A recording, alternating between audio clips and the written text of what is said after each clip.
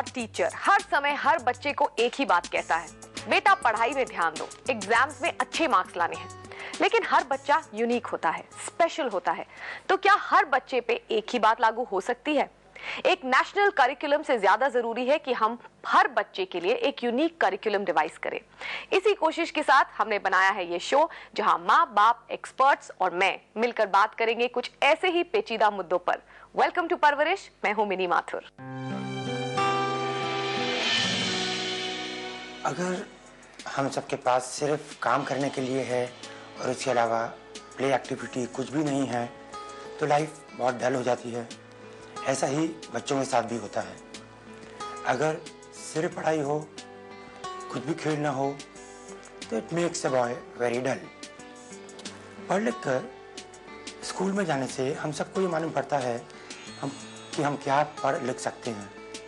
लेकिन हमें ये मालूम होना कि क्या पढ़ने लायक है और उसे हम अपनी ज़िंदगी में कैसे इस्तेमाल करें, उसके लिए एक्स्ट्रा करिकुलर एक्टिविटीज़ की बहुत ज़रूरत होती है। Extra curricular activities help in overall development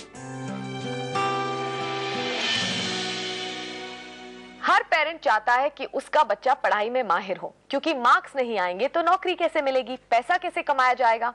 But it's just is important for your child to pursue other interest outside studies जैसे कि स्पोर्ट्स म्यूज़िक आर्ट्स क्योंकि कहते हैं ना all work and no play makes Jack a dull boy तो आपका Jack या jail बिल्कुल भी डल ना हो इसलिए आज we going beyond the curriculum यानी किताबों से आगे जहाँ और भी हैं.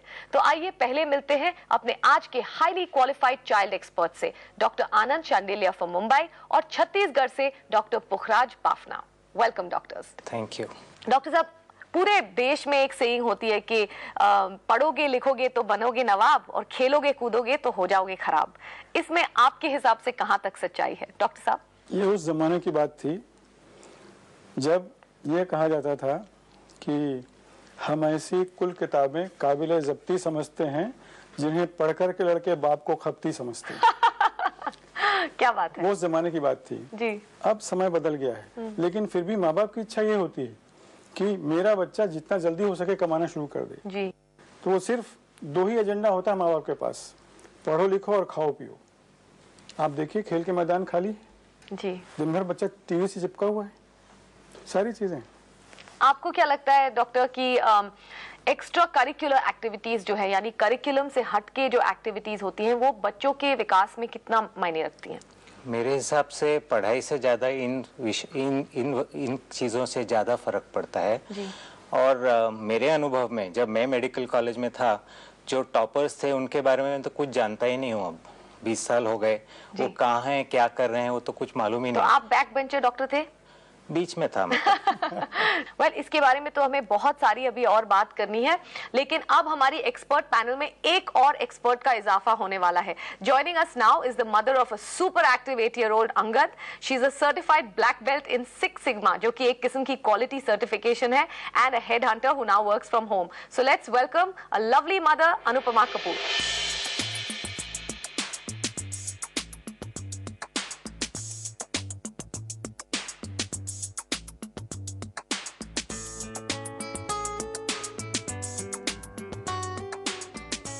Anupama doctor Shandilya और डॉक्टर बाफना जो हमारी मदद कर रहे हैं आज इस बहुत ही इंपॉर्टेंट टॉपिक में। अनुपमा ये बताइए कि आपके जो सिक्स सिग्मा कॉन्सेप्ट है ये अ, अंगद की परवरिश में भी आपको मदद करते हैं या it's restricted to what you know well well, um, पूरी तरह से तो नहीं कर सकते हैं लेकिन जहाँ तक हो सके करते हैं। Six sigma by you know by definition is is used for repetitive processes तो जहाँ पे भी जो जो चीज़ें आप रोज़ करते हैं अपने बच्चों के साथ, उनमें आप शायद किसी हद तक लागू कर सकते हैं। तो ये बताइए अनुपमा सबसे पहले तो कि अंगद जो है वो खुद सिलेक्ट करते हैं अपनी एक्स्ट्रा करिकुलर एक्टिविटीज़ या आप उन्हें सिलेक्ट करवाती हैं? सी अंगद की थोड़ी इंक्लिनेशन है आउटडोर्स की।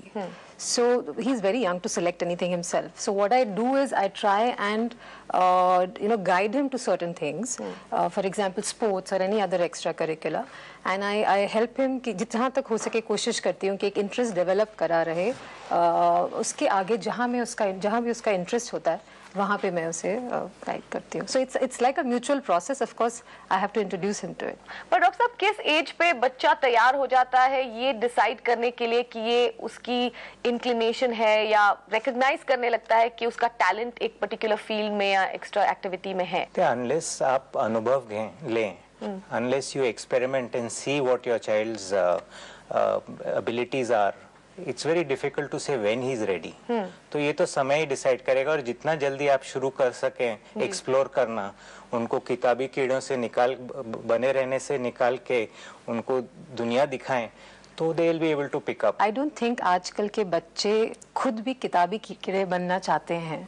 उनके आसपास इतनी एक्टिविटीज़ हो रही हैं कि वो खुद चाहते हैं कि वो खेलें और कूदें और जितना हो सके करें चाहे वो एक आर्ट क्लास है या म्यूज़िक क्लास है या कुछ रोबोटिक्स है। लेकिन doctor she is right she is right children by themselves उनमें तो ये इच्छा रहती है। प्रॉब्लम माँ बाप की है। वही मैं मेरा अगला सवाल था कि कई बार ऐसा लगता है कि at least the first set of activities जो पेरेंट्स अपने बच्चे को जिसके प्रति एक्सपोज करते हैं they are sort of lost aspirations that the parents had for themselves तो अम, इसमें क्या आपको लगता है कि थोड़ी पेरेंटल पुशिंग होती है या ये नेचुरल बात? इसमें मैडम ये है कि हम कुछ चीज़ें बच्चों के चॉइस पर छोड़ें।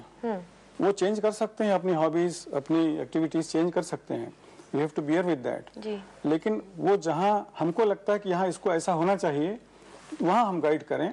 हम पहले उसकी चॉइस पूछें। You should not press upon कि तुमको यही करना है। But I have to bring your notice to एक और टर्म मैंने आजकल सुना है बहुत ही इंप्रेसिव टर्म है मल्टीपल इंटेलिजेंस एक्टिविटीज़ तो ये मल्टीपल इंटेलिजेंस एक्टिविटीज़ क्या है? And what kind of activities fall under multiple intelligence multiple intelligence activities जो होती हैं कि बच्चे की लर्निंग किस ढंग से है वो किस तरह का लर्नर है? इज़ ए विजुअल लर्नर और kinesthetic learner music learner mathematical learner उसके अलग अलग एटीट्यूड होती हैं। जैसे लिंग्विस्टिक लर्नर तो वो पढ़ाई लिखाई में पढ़ने में लिखने में ज़्यादा ध्यान देगा। जो। विजुअल वाला है वो देखने सुनने में ज़्यादा करेगा। अच्छा।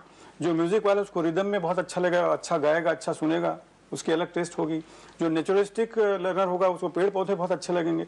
ये अलग अलग इंटेलिजेंस के मल्टीपल इंटेलिजेंस के क्राइटेरिया हैं। ये स्टेब्लिश करते हैं कि उसकी रुचियाँ क्या हैं।